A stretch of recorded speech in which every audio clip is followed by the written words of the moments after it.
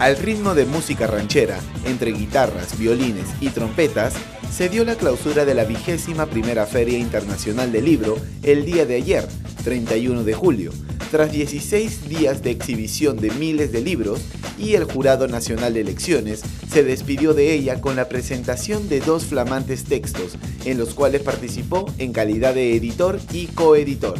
A las 6 de la tarde se presentó el primero de ellos titulado Participación, Competencia y Representación Política. Contribuciones para el debate, el cual fue exhibido por Daniel Encinas, politólogo, Jorge Aragón, politólogo e investigador, Antonio Zapata, historiador, y Lorena Levan, politóloga.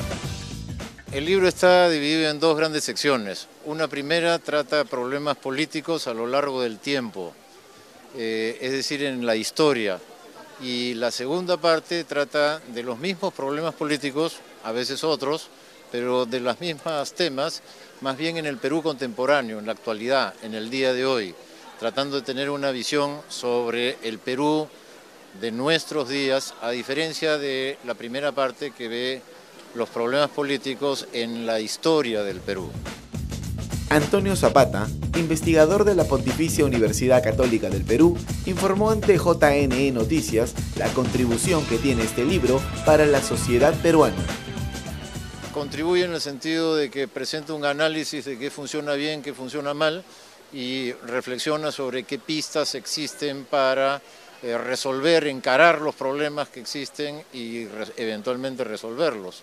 En ese sentido es un libro que tiene reflexiones sobre la política práctica, no sobre la teoría. A su vez, Jorge Aragón, investigador principal de dicho libro, agradeció a las personas que intervinieron en la realización del mismo. Antonio Zapata, Rolando Rojas, Cinesio López, Cristóbal Aljovín, eh, después vinieron eh, de la antropología, estuvieron Óscar Espinosa, Ramón Pajuelo, eh, Romeo Grompone, Marisa Remy, eh, Rousseau y, el que les habla. Por otro lado, el máximo órgano electoral exhibió el segundo texto titulado Democracia y Territorio en Países Unitarios, una agenda de investigación pendiente. Los comentarios de este escrito estuvieron a cargo de Yamile Gilbert, profesora de la Universidad del Pacífico. Bueno, creo que es un libro que tiene muchísimos méritos, como ya había expuesto en los comentarios. Creo que le sirve para cualquier persona interesada en investigar el tema de política comparada porque te da un panorama general acerca de la discusión teórica, conceptual sobre el tema. Eh, creo que también es meritorio que en el fondo igual ellos también hacen innovación conceptual porque se la juegan por, eh, digamos, utilizar el concepto del autoritarismo competitivo y aterrizarlo en el caso peruano mientras que los autores son la socióloga Noelia Chávez y los politólogos Mariana Ramírez y Daniel Encinas. Es sobre cómo combinar la idea de democracia y territorio. Es decir, sabemos que hay democracias en el nivel nacional, en general en un país, pero podría ser que lo de adentro, las regiones o los niveles de gobierno más bajos no sean tan democráticos. Y nosotros lo que queremos mostrar es que se ha escrito mucho sobre esto en América Latina, pero países federales, pero para países federales y no para países unitarios como el Perú. Queremos llamar la atención de que falta investigar sobre este tema, tenemos que aprender mucho y estudiar a mayor profundidad lo que sucede en el Perú con respecto a esta temática. Asimismo, el Jurado Nacional de Elecciones contó con un stand en dicha feria, donde gran afluencia de gente recurrió para adquirir diversos textos.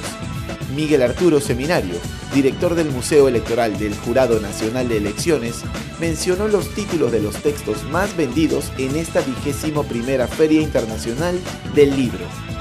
Los títulos más vendidos en el stand del Jurado Nacional de Elecciones son El voto en la historia de la democracia en el Perú, la historia de los partidos políticos, el honorable Ponciano, estos dos que se han presentado hoy día que prácticamente se han agotado, los que habíamos traído para la venta, y otras publicaciones que se han presentado en, en estos auditorios en los días entre el 18 y el 31 de julio. Y para las personas que no pudieron conseguir las diversas ediciones presentadas por el stand del Supremo Ente de Elecciones en la feria, pueden obtenerlos en la sede central, ubicada en Nicolás de Pierola, 1070, en el distrito de Lima.